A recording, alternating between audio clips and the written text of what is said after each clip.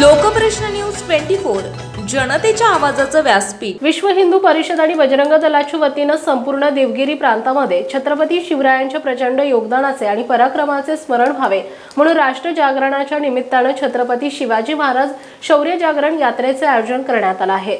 त्याचाच एक भाग म्हणून श्री रेणुकादेवी मंदिराच्या पायथ्याशी सोमवार दिनांक नऊ ऑक्टोबर दोन हजार तेवीस रोजी सकाळी दहा वाजता माहूरचे योगी परमपूज्य श्यामबापू भारती महाराज यांच्या हस्ते शौर्य जागरण रथातील छत्रपतींच्या प्रतिमेचे पूजन आणि अभिवादन करून रथयात्रेला प्रारंभ करण्यात आला. विश्व हिंदू परिषदेच्या स्थापनाला श्रीकृष्ण जन्माष्टमी दोन हजार चोवीसला साठ वर्ष पूर्ण होत आहेत. तसेच छत्रपतींनी स्थापन केलेल्या हिंदवी साम्राज्याला तीनशे पन्नास वर्ष पूर्ण होत आहेत. या निमित्तानं वर्षभर देशभरात विश्व हिंदू परिषदेने आपल्या सर्व कार्यविभागाच्या सहभागानं विविध कार्यक्रमाचं आयोजन केलंय. यावेळी विश्व हिंदू परिषदेचे प्रांत उपाध्यक्ष सुरेश महाराज धर्माचार्य नरसिंग महाराज श्री रेणुकादेवी संस्थानचे विश्वस्त चंद्रकांत भोपी विशेष निमंत्रित अनिरुद्ध केंद्रे मठ मंदिर प्रमुख रमेशचंद्र दारंवार किरण ठाकरे बजरंग दल संयोजक सोनू चौधरी तालुका संघचालक अनिल कान्नव संतोष राचेवार कुंदनसिंह परिहार नंदकुमार जोशी आदींची उपस्थिती होती. संस्थांच्या वतीनं विश्वस्त चंद्रकांत भोपी यांनी वरील सर्व मान्यवरांचा शाल श्रीफळ देऊन सत्कार केलाय.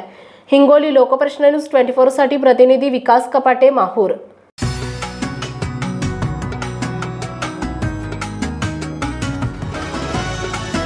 Lokprashna news twenty four जनतेच्या आवाजाचं व्यासपीठ.